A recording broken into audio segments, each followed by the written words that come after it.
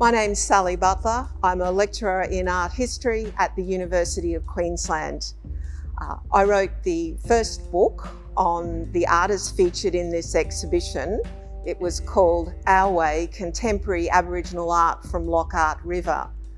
Um, it was about the foundations of one of the most unique art movements in Australia an art movement about a new generation of Aboriginal artists who are focused on one life, two worlds, living in their Aboriginal life and in their non-Aboriginal life.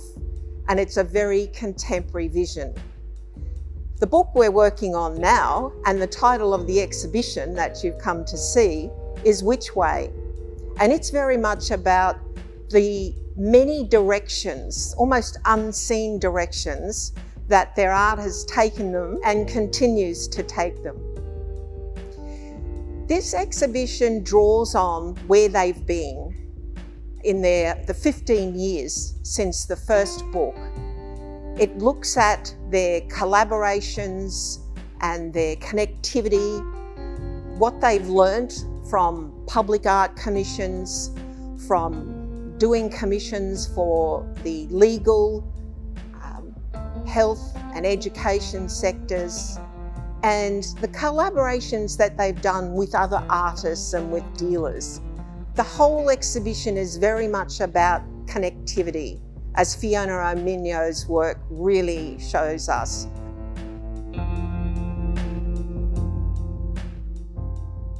The body of work in this exhibition brings a new level of colour and conceptual duality of one life, two worlds.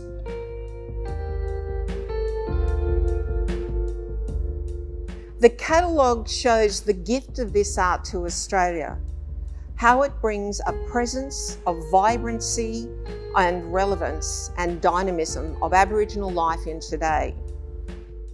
These artworks own a space.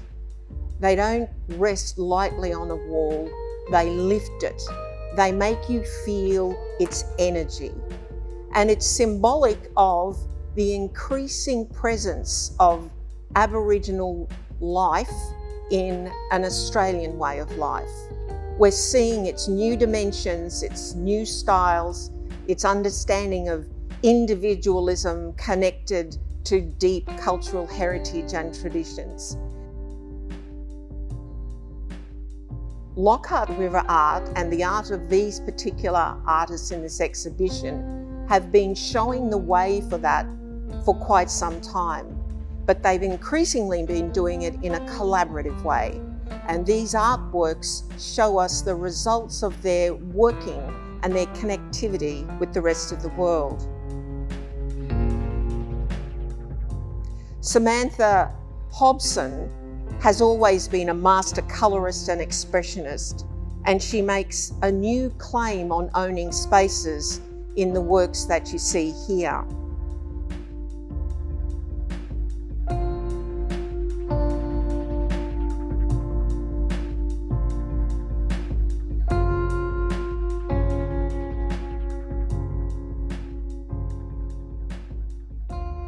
Fiona Omeenyo has always been about connectivity between generations, families, communities, ancestors. But there's a new understanding in her works now in terms of how this connectivity is something to be learnt by the broader community at large.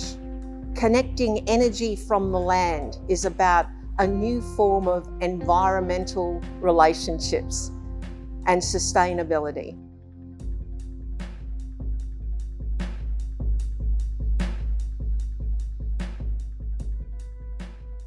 Rosella Namok's work, particularly the Kape and Kuyan series of paintings and sculptures, again draws on deep Aboriginal traditions of moieties.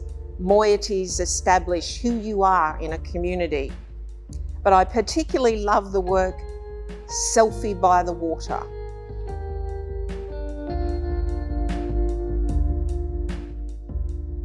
Because what Rosella is showing us in this work is how the moiety is an image of a sense of self in a community, which is exactly how we understand a selfie today. She makes that connection between her Aboriginal heritage and her modern life and selfie image making.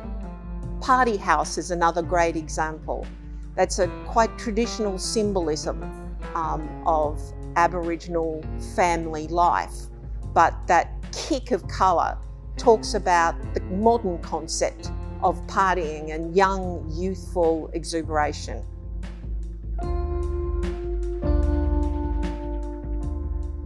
This artwork has been um, at the forefront of Australia's Australian audiences' notice for quite some time, but it's yet to really gain an understanding of its true significance because what it shows us is that these artworks aren't just about Aboriginality, they're about how Aboriginality is a part of all of us, of Australian life.